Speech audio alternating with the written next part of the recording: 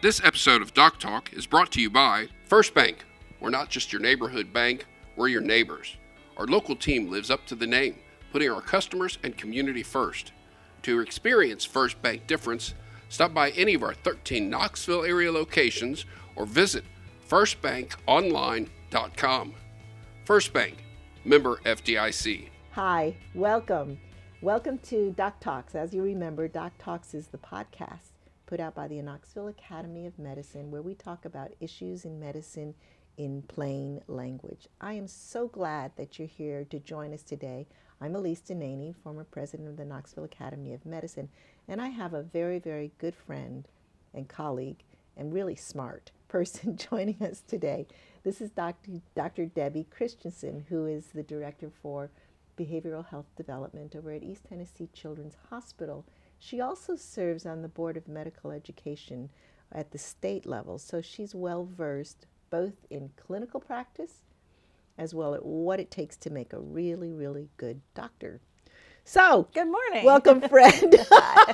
How are you? I'm good. How are you today? I'm well, thank you. Did I talk? Did I, I? I'm not sure I mentioned we're talking about autism this morning. I don't think you did say that. Yeah.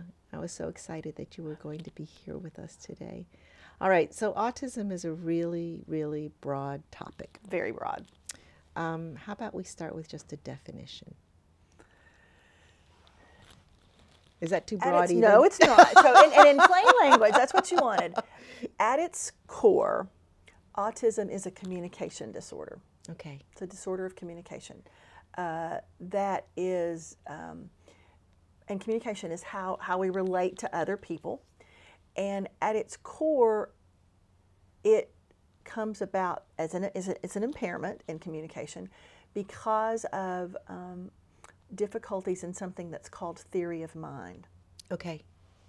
And theory of mind says that um, it, it's how you it's how you think, and also it's more than that. It's how you think other people think. Okay and you're not born having that. It develops um, just like a lot. Well, you're, you're, not born having a lot of things. You, language develops. All, all these things develop, and theory of mind starts to develop roughly around the age of four, and continues developing probably probably entirely through our lives. But but you don't really think it's well developed until up until the teen years. For example. Um, can you put yourself in somebody else's place? One of the classic things that I'll do that a four to five year old really ought to be able to get is I have a metal box that's a, an old band aid box from when I was a little girl. Remember, they used to come in metal boxes, and it's sitting on my desk and it's full of candy. And I will say to the child, hey, what do you think is in this box? And there's band-aids. I mean, it's a, you remember what the band-aid box looks like. And yep, of, and of course, I sure do. And of course, what do you think they say? Band-Aids. Right. It's there. And I said, well, okay, let's see what's in here. And you open the box and there's candy. And of course, most of the time they want a piece of candy. Because right. and so you let them have a little piece of candy. And you close the box up and then you say, so if we go out here and we ask your mom what she thinks is in the box, what do you think your mom will say? Interesting, interesting question because that's like so many different. It's levels a lot of, of different levels. Yeah, and so this is a four-year-old. this is a four to five-year-old, right? Okay, okay. And of course, you ask this to older children too, but by four to five, you ought to be able to start to get that a little bit. So, you know, can you say, well, gee, we go show it to somebody else, and they look at the band-aids on there, and they don't know what's in there, so they're going to say band-aids. Can they answer band-aids, or do they say candy? Because the classic impaired theory of mind answer is they're going to say candy. Because once they know there's candy in there, they can't put themselves back in the position of somebody that doesn't know Interesting. that there's candy in there. So that's if you can understand that, you can understand a lot of what of what autism is about. Okay. Now there's other things that, that go along with that, but that's one of the major core issues and that's a real good um, screening or it it is. It's kind not of it's not the, i mean it's not the only it's not the only right. part of, of but and a lot of the other um, questions and things and come back to kind of can you do that? What, what do you think somebody would think about this? How do you think this person i mean it, it all goes to that but that's that's a um, I, I guess that's more of a, a definition or an example of how that's impaired because it's not you, you don't just fail that one question and all of a sudden you have autism. That's not um, that's not the way it works exactly. But Okay. Um, Autism is not bad though. It's just it's just something we have to deal with to help our children. Is that correct? Treat, attention, identify, intervene, that kind of thing. That's a that's a tough question. I Okay. mean, um, it is something you have to deal with for sure. Right. Um, um, you know, would you want your child to have a broken arm? Well, no. Right. I mean, do you want your child to have to wear glasses? Do do you want to have to wear glasses? No, you'd prefer Right. not to. I Right. mean, it's you know, it, it, it's something that makes makes makes life it makes life harder. Um, and you know, we make a big deal about being the autism spectrum, about there being Yeah, I all was thinking about that. Well, I, I, I don't know.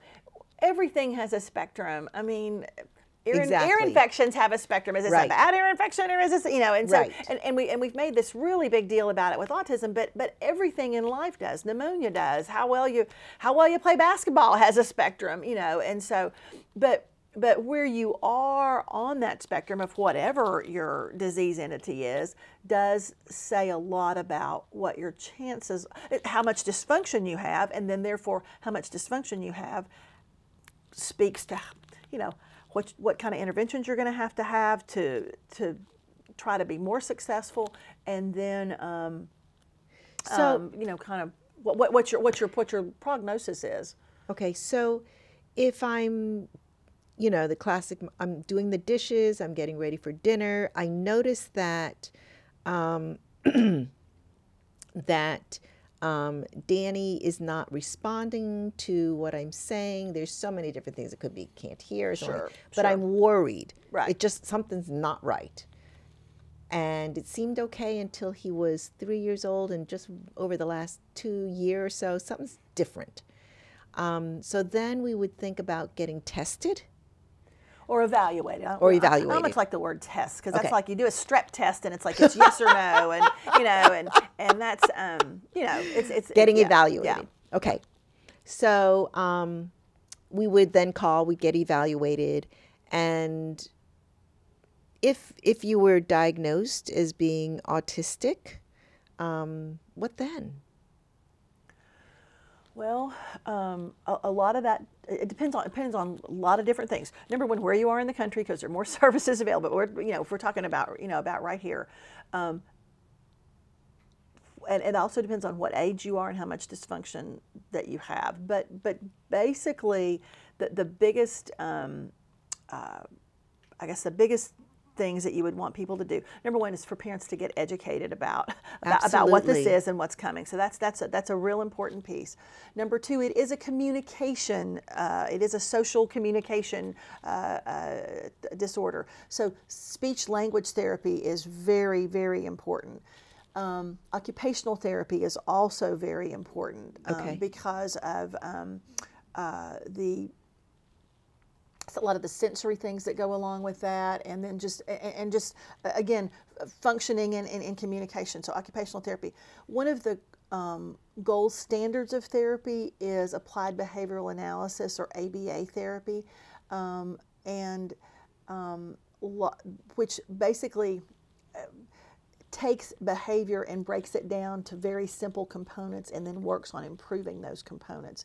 And you can do that for lots of diagnoses, but it has become uh, uh, very much. Uh, Like blocks. associated, well, it would be like building blocks, but associated with autism because it is a, a therapy that can really show some some marked improvement for kids that have that have autism. Um, the gold standard is at least 20 hours a week.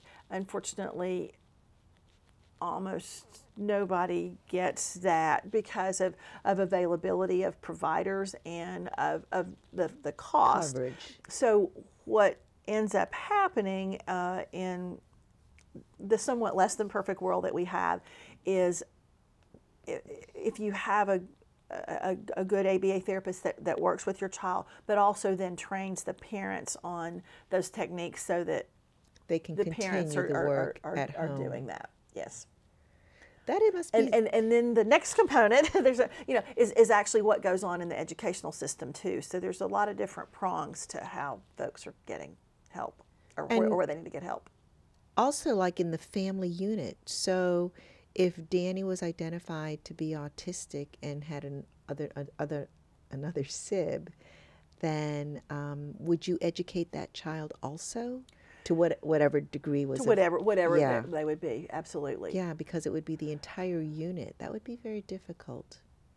and you know there's like everything in medicine you know we're still learning but what is difficult a lot of times is there are um, there's obviously in this uh, in this diagnosis some genetics involved and so there is a higher degree of probability that another child in the family will have some autistic traits as well so then that Need to watch for it. need to watch for it, but it also uh, complicates, you know, how the family, uh, you know, is able to, to, to function with, you know, with a with a special needs child. So the genetics says that autism or autism-like um, disorders, and I don't like the word disorders, but um, can have a family tree pattern. It, Possibly. It, it, it, it appears that way, at least in some cases. And, and, and of course, remember, this is a diagnosis that is based on symptomatology. So there is not, all of that symptomatology doesn't, it does not lead back to one Sure. thing. Sure. And, and, and most, and most likely is not going to. I find that school teachers are pretty well educated.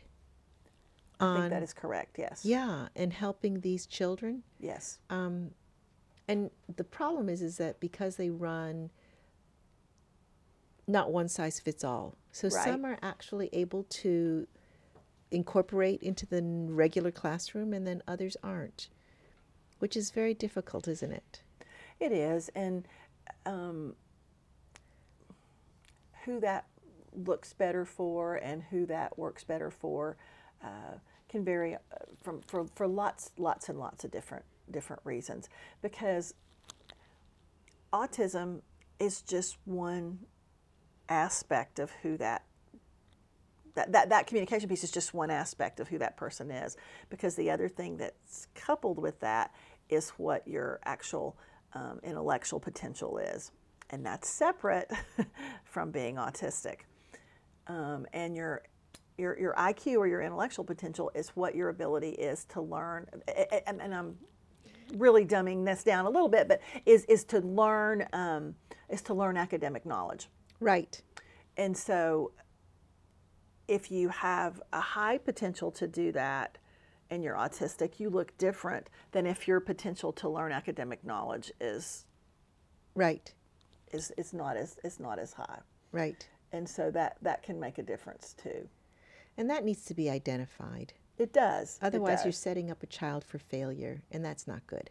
well, uh, well, yeah, for frustration and for Or for frustration, for, frustration. ev- and, and and and families and everybody else um, that's involved in taking care. Okay. So most of it still, with autism, is a um, therapeutic intervention, Yes, not so much a pharmacologic intervention. that is correct. Okay. And that's really important to know also because I've seen some children who are treated with medication for it. They're well. I have a lot of patients that I have that have autism that are on medication For other things. for other things, um, but a lot of those other things are uh, related to them having autism. For example, one of the most common things um, that we treat children for with autism um, is sleep, because like a lot of other developmental disabilities, um, and I, again, what's the right developmental issues, th- things? I, I don't like disability either exactly, but but um, they have difficulty with sleep, and so you, I, I've always approached my practice from. If you don't sleep well, you don't do anything well, and so Absolutely. so you've got to get got to get back. Gotta so, re- so that's yeah, reboot the brain. Exactly. And um, and well, and and if children don't sleep well, their parents don't sleep well, and then that's a whole other problem. So, um, so that that's one of the more common things that children that have autism would receive something for. And not all of that is prescription medicine. I mean, there's, you know, melatonin. There's several things that are that are over the counter that I would, you know, that would would be a pharmacological intervention. So that's one of the more common things. And then because of frustrations and um, uh, folks that have autism have a real intolerance to change and routine and uh, things aren't quite like what they're supposed to be. Right. Um, if I was, I, have been here and talked with you before, um, and if I came in and um, I don't know that there was a couch here rather than the chairs, well, it'd be kind of weird or different, but but it wouldn't. You'd adapt. Would, I'd adapt. It wouldn't, you know. Um, but if I had autism, that be much more be difficult. Much more difficult. And so there's lot there's lots of things that that go along um, with that, and depending on what level of frustration and irritability and and things, we sometimes will there, there are actually some medications that are approved to help with that irritability um, and that frustration tolerance. It doesn't change the autism, but it helps some of those symptoms that well, are sure. associated I with mean, that. and yeah, and if you're trying to do 20 hours of ABA therapy, and the schedule doesn't allow for the therapy to be at one o'clock Tuesday Mm-hmm. every week. right. That's going to set Danny off. Right. And Or You going can't to school, help that. Going to school, there's a substitute teacher, or you know, it, we nor normally go out on the playground at 10 o'clock, and, and it's raining today, so we can't go outside. Or there, I mean, there's just all sorts of um, things that can can be problematic. It's a really interesting problem. It's a really interesting challenge. These are really, really special kids. They are very special kids and great families, and it's a good, it's a good, a good, a good bunch of people to work with. It's amazing. I'm so glad you're here. Okay, so there you have it, just touching the absolute top of autism. Um, it is a disorder of communication. We can treat it with therapy. Um, these are special kids with special challenges, but it's really, it's I I still think it's it's like everything in life. It's a gift. so if we would like, if we're concerned or we have friends and we'd like to make an appointment, how do we make an appointment? The first thing you need to do anytime you have a concern about your child's health is talk to your child's primary care physician. That's that's that's your starting point, or primary care provider. That's your starting point for, for everything, and they can guide you in your area of the of the, of the, of the country on who's the best person to see. Um, we at um, Children's Hospital have um, a website that you can can get on and get to our practice and uh, fill out some paperwork, and we can help determine if if we're the best place for you or if we need to send you somewhere else in the community. That's great. Thank you. So there you have it, Dr. Debbie Christiansen talking about autism. Um, thank you so much for joining us today. Good to see you. Thank you. And that's a wrap.